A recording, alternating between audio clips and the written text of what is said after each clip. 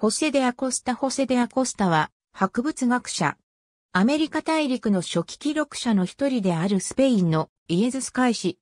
1540年、メディーナ・デル・カンポの商人の家に生まれる。1551年にイエズス会学院に入り、1562年の部品。ローマのプラセンシアにて、イエズス会学院教授を務めた後に1571年にペルー赴任。1572年4月27日にリマに到着すると、1576年、イエズス会のペルー管区長となった。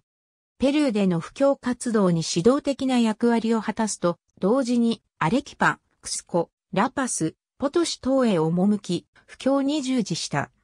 原住民文化の観察、記録を熱心に行い、1586年にメキシコへ移る。メキシコシティにおいて、フアンデトルバに指示して先スペイン機の文化を学び、1587年に帰国。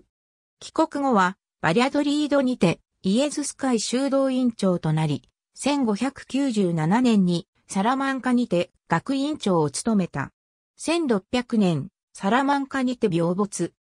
1590年に表した新大陸自然文化史はアメリカ大陸の自然と文化を総合的に述べたアコスタの代表著書であり、メキシコ・ペルーの原住民文化に関する貴重な資料となっている。